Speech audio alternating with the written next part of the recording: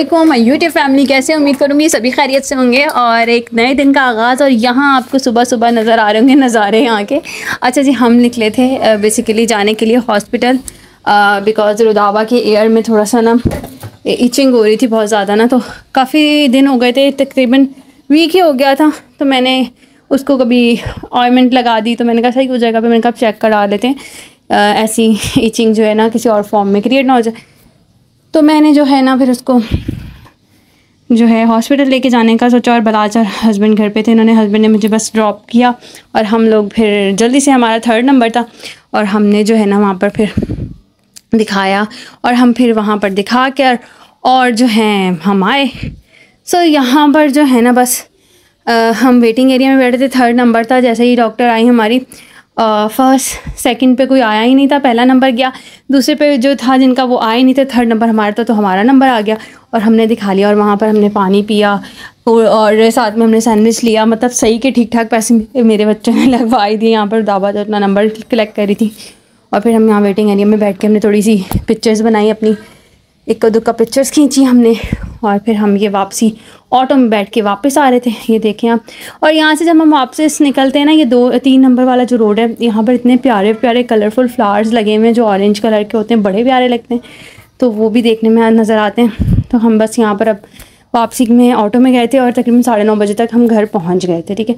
तो बलाद जो है वो सो ही रहे थे और वहाँ पर इन्होंने वो देख लिए जी।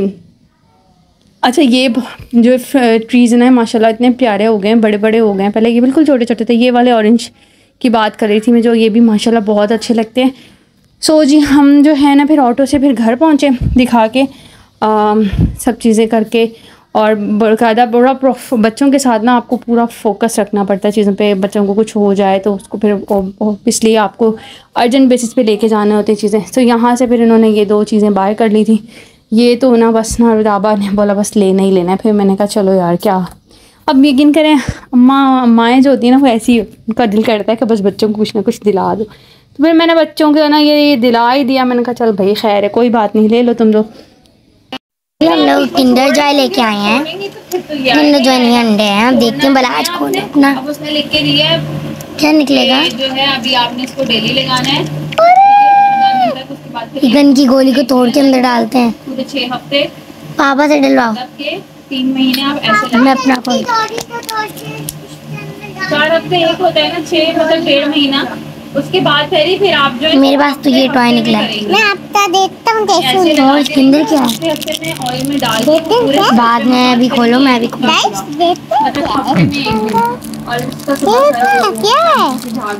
निकालो। निकालो निकालो।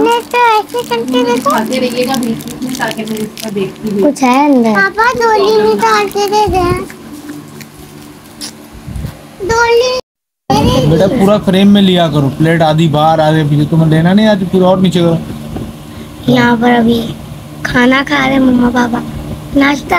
नाश्ता नहीं फ्रूट खाना ये क्या है? दोली है ये दोली बलाश गन चला के दिखाओ। बलाश की दोली गन ये देता हूँ मेरी गन।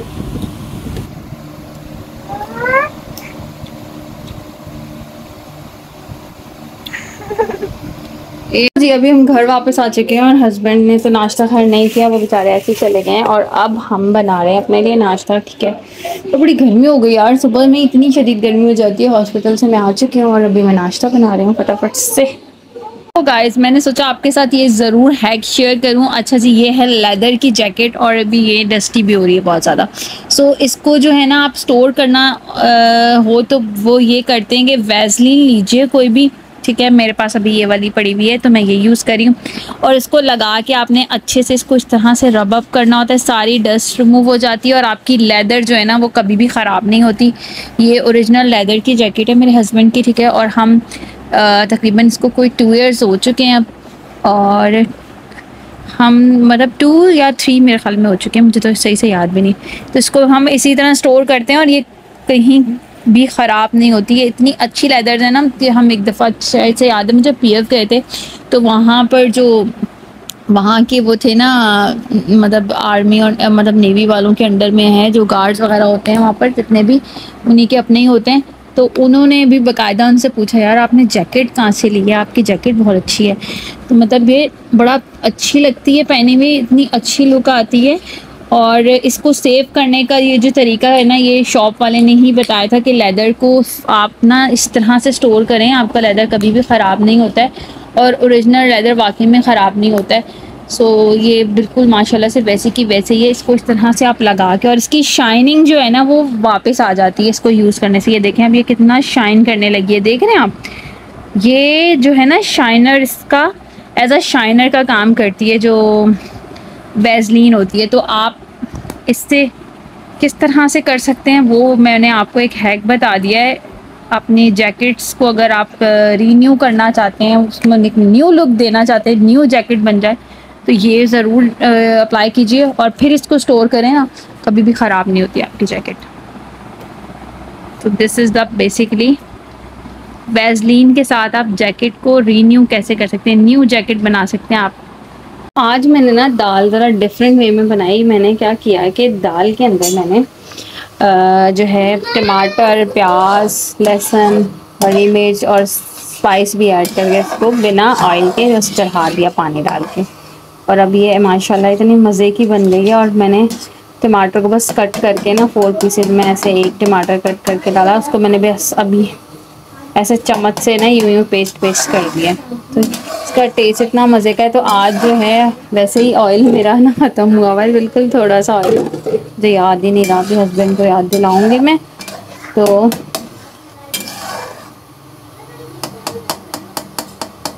तो अब ये है कि मैं ना आज कुछ अलग सी दाल बनाने के मूड में थी सो मैंने अब क्या करना है कि अच्छा ये बहुत टाइम से हस्बैंड लेकर आए थे, कराची हलीम वाला पैकेट और इसमें है इनके फ्राइड अनियन सो मैं ना इसके अंदर। ये ऐड करी हूँ। थोड़ा सा मज़े का ट्विस्ट देने के लिए, ठीक है? लाइक दिस और अब हाँ आँच थोड़ी कम कर देंगे ताकि ये इसके अंदर अच्छे से ब्रॉप हो जाए और बड़े मज़े के लगेंगे फिर।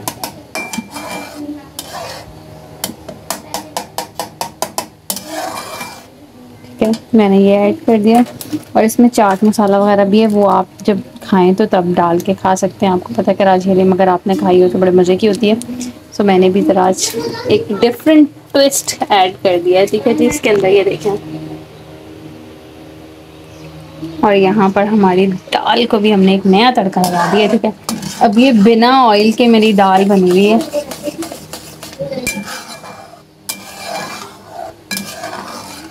सो so, जी इसको मैं अभी हरा धनिया ये थोड़ा सा पड़ा हुआ इसको गार्निश करते हैं हरे धनिया से। और दैट्स इट हमारी हलीम इज़ हलीम इज़ कह रही हमारी दाल इज़ रेडी हम बना रहे हैं रोटी ठीक है रात का खाना। सो दो दिन मैंने रोटी बनानी है और बाकी हम करना।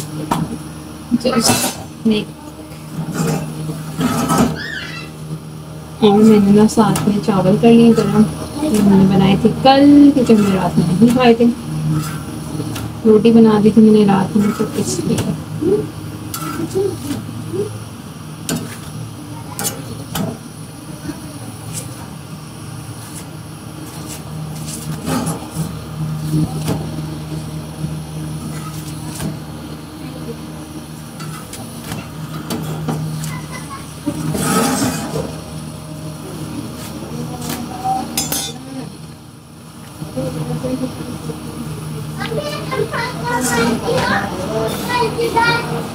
खाना तैयार है।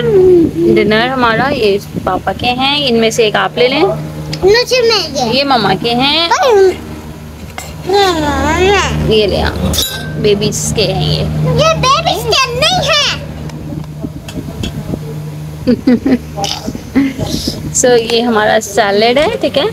दिस इज़ और सैलेड और राइस और ये है हमारी आज दाल विदाउट ऑयल दाल बनी हुई थी। कौन सी दाल है? चना की दाल। ठीक है और ब्लॉग को हम यहीं पर एंड करते हैं। अपना रखिएगा बहुत सारा। ना हाफिज़।